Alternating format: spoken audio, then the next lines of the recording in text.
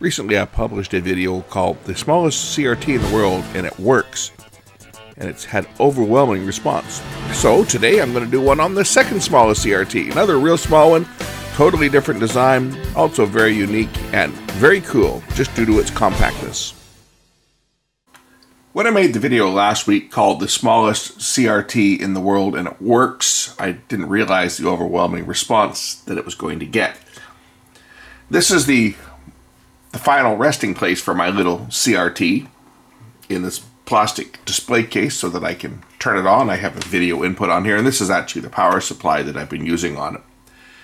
But it lets you, lets you see all the sides of the tube and the engineering marvel that it was and this truly is the smallest commercially made CRT in the world. It was used in Sony camcorders going back to, well, I've got another camera here.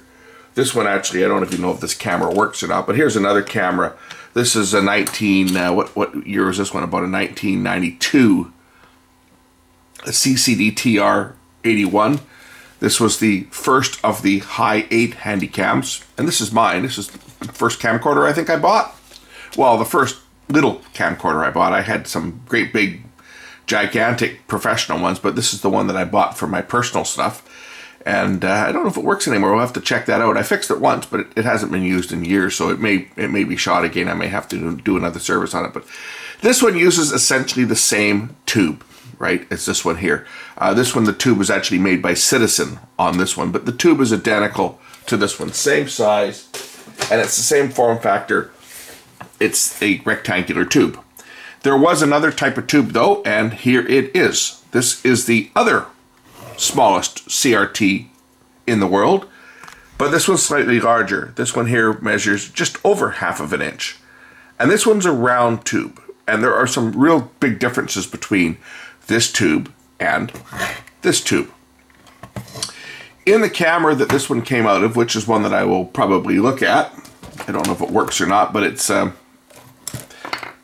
it had this mask over the front to make it look like a square picture, but it was actually a round tube.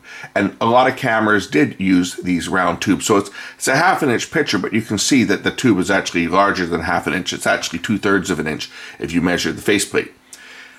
Like the tube from the Sony though, it is magnetic deflection. I had some people suggesting that they had tubes that were electrostatic deflection.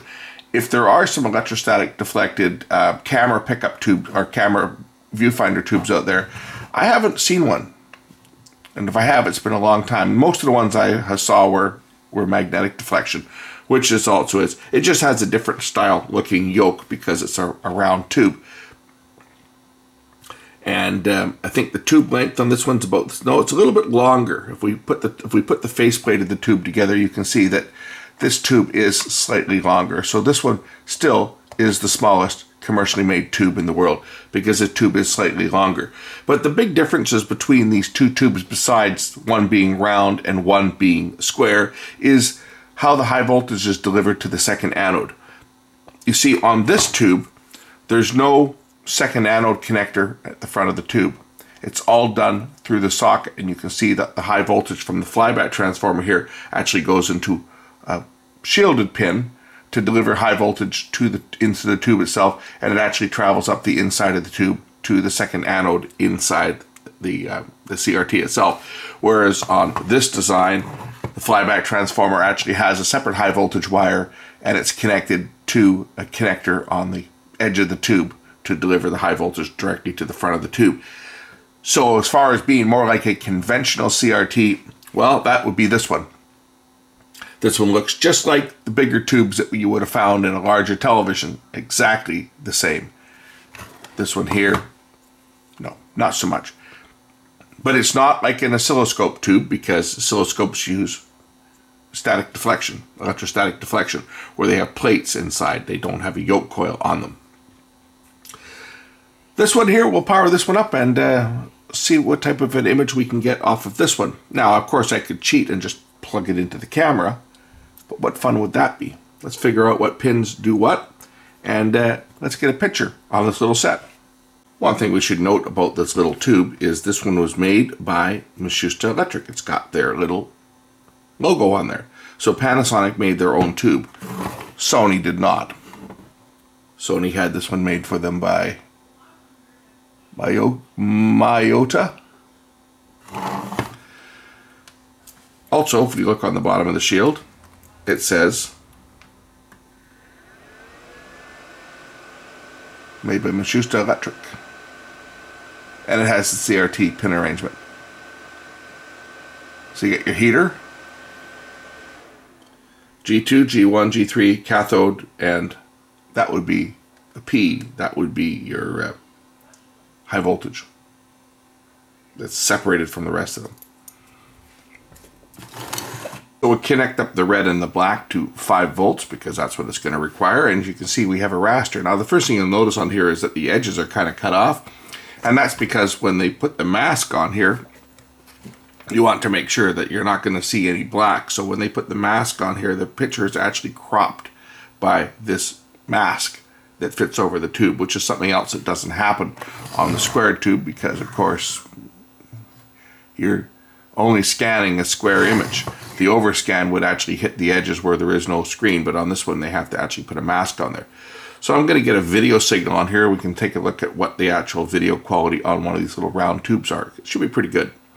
This, by the way, this flicker you see here, this is probably the top side of the screen here. That's uh, just the uh, shutter and the camera effect. So I got to figure out which one of these is a video input. It's probably the white one, I'm thinking. I should I should be able just to touch it and see something on here. This one has a lot more wires than the Sony. The Sony only had four.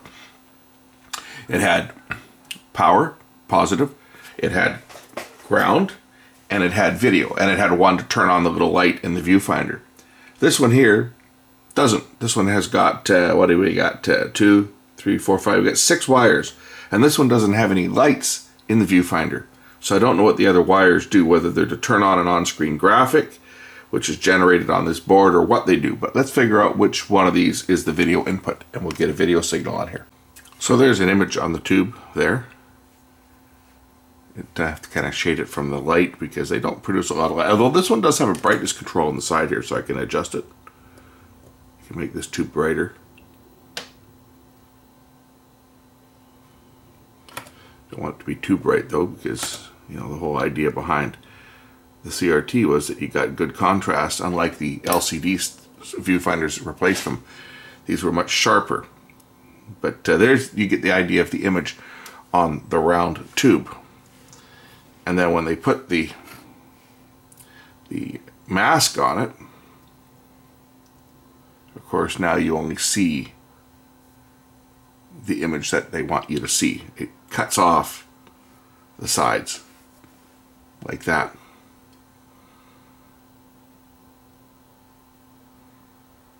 But as I say, this tube here, I can get the camera in closer so you can get a closer view of this tube. There's about the closest view I can get of this tiny little tube. I'm almost touching the uh, lens of the camera here to get in focus. This is just some stuff that I got off of uh, YouTube. I don't know where that interference is coming from. I guess it's from my unshielded cables that I'm using to connect it. There's a a view of the front of the tube. As you can see, the, the, the actual corners are cut off, which was a common um, problem with the rounded tubes because, of course, they want to try and give you the biggest, largest image that they possibly can on the, uh, the viewfinder. and if they were to only scan it so that it was just touching the edges, then of course the actual view would be much smaller. I'm trying to not get nailed with copyright here. That's why I'm kind of letting it blur here because I know sure as hell if I let this thing play, I'll get nailed for something.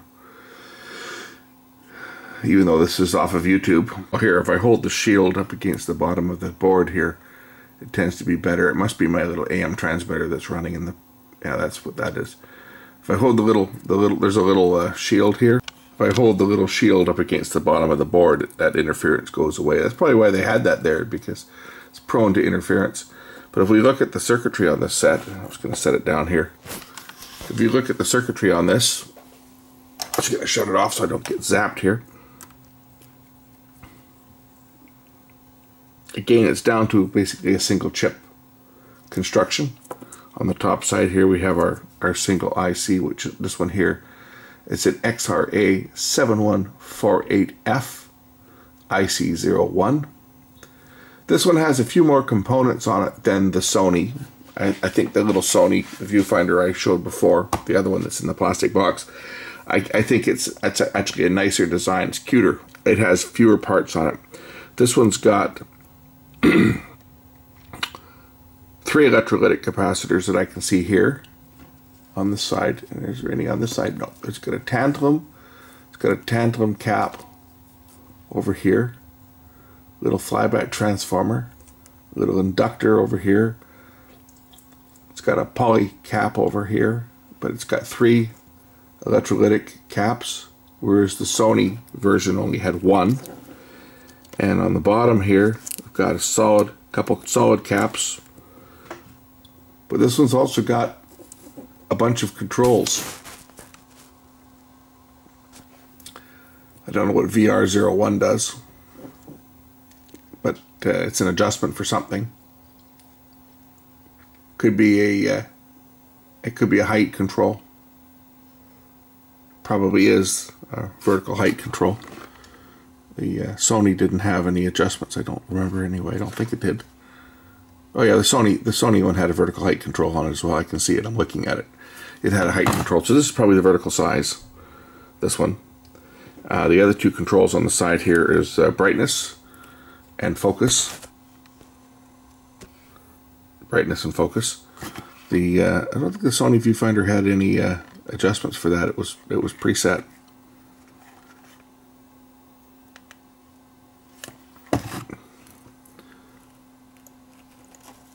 But the biggest difference, of course, is the picture tube itself. This one having the high voltage delivered right through a pin on the back of the tube. And of course it being a round tube.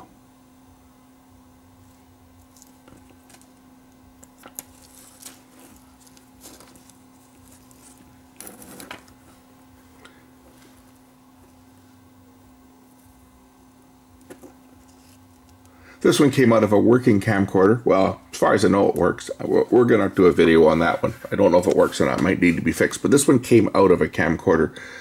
So because it came out of a complete camcorder, it's going to go back into the camcorder just uh, in case I, you know, ever want to do something with that camera, like sell it, especially if it works. Because uh, getting working cameras these days for people are uh, people wanting to transfer their tapes and stuff. Although this was from a VHS-C, so there's not as big a demand for a VHS-C camera as there is, uh, say, an 8mm camera because, of course, the VHS-C tapes could go into uh, an adapter and play back on a conventional VHS machine, whereas the 8mm tapes could not. So there's a little bit more of a demand for 8mm and high 8 cameras and digital 8 cameras because without them, there's no way to play the tapes back that were made with those formats. So it's as far as value of an old camcorder goes, the, the 8 millimeter format is considerably more valuable than the VHS-C just because VHS-C had that compatibility and you can go down to Goodwill and pick up a VHS machine for 10 bucks that works in many cases. And that's it. I just wanted to show you guys this uh, little small, I'll call this one the second smallest CRT ever made because it's small, but it's not as small as this one. This one here, which I've got, I've got this one running now. I'll show you the picture on this one. And of course, there's the video off of the little Sony tube here. So I can get my focus a bit better.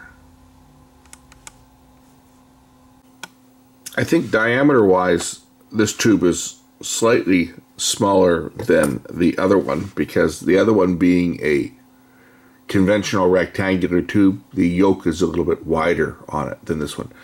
With the buildup on the yoke here, because this one requires a more conventional yoke with ferrite, uh, it's, it's, wrapped around ferrite uh, uh, supports, whereas this one here is just wound around the tube. So I think the uh, yoke is a little more compact on this one because it's, it's actually part of the tube.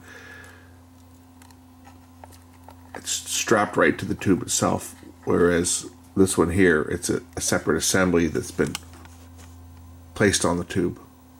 But they're both damn small. I think we can agree on that, that both of these uh, tubes are exceptionally small. Anyway, there it is. Second smallest tube in the world, and it works. Thanks for watching.